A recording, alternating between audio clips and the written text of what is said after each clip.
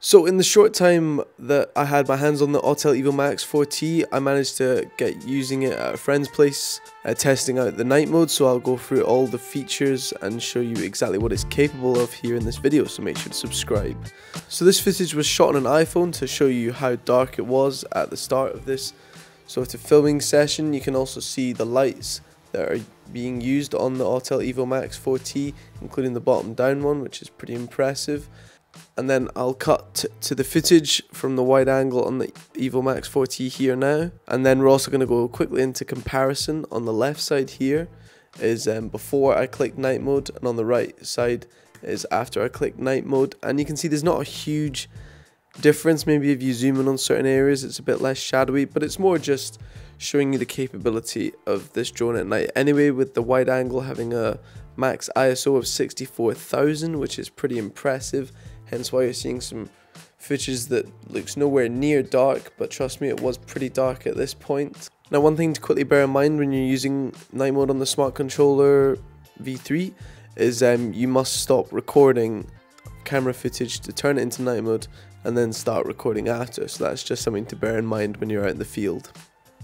So I'll talk you through the zoom a bit and show you the zoom capabilities. As you can see, the more you zoom in, the darker it's going to get and the loss of quality of footage compared to the wide angle.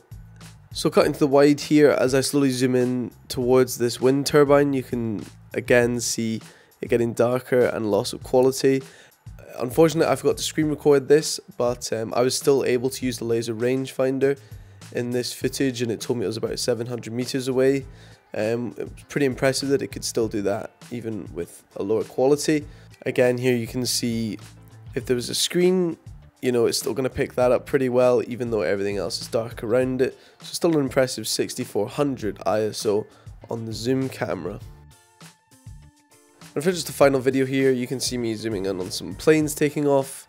Um, you can see their bright lights at the bottom. Don't worry, we weren't anywhere near the ATC. That's where the zoom's pretty handy.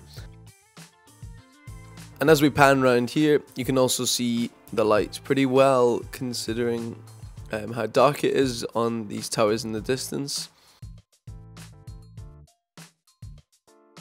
So switching to the thermal and infrared camera at night is probably when you can see it at its very best. So I just pointed the camera on some sheep here and aside from where the wool is you can see just using the white hot thermal palette just how clearly you can see the sheep and you can see just how white their faces and their legs are coming out and it makes it very easy to spot them.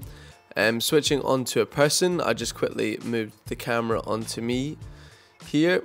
And this is black hot so obviously the blackest areas and then moving to iron bow here and then I'll just go through all the 10 different palettes that you have on the infrared camera demonstrating them at night. And as you can see this is when it's working extremely well. And I'll just show quickly here with my mate in frame, uh, how the lava uh, palette works really well to see the details of the person and also using the light of the bottom of the drone here for the thermal imaging camera.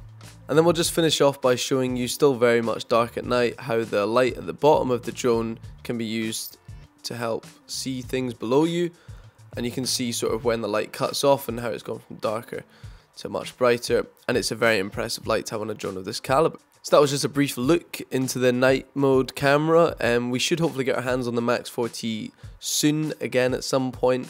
So if you have anything you'd like us to try, just let us know. Please remember to subscribe and thanks for watching and we'll catch you on the next one.